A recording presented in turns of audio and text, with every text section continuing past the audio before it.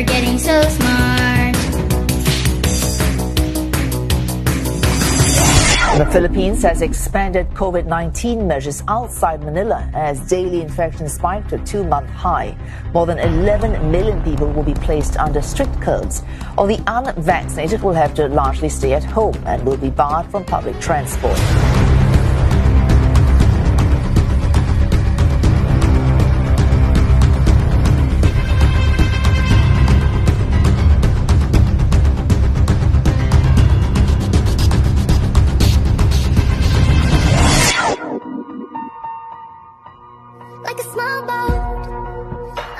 Ocean, sending big waves into motion. Like how a single word can make a heart open. I might only have one match, but I can make an explosion. And all